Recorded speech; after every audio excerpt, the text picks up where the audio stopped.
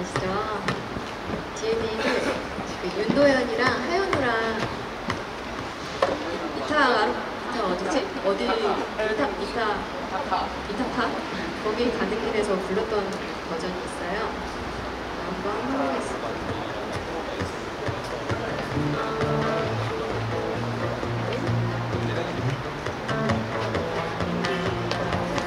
저는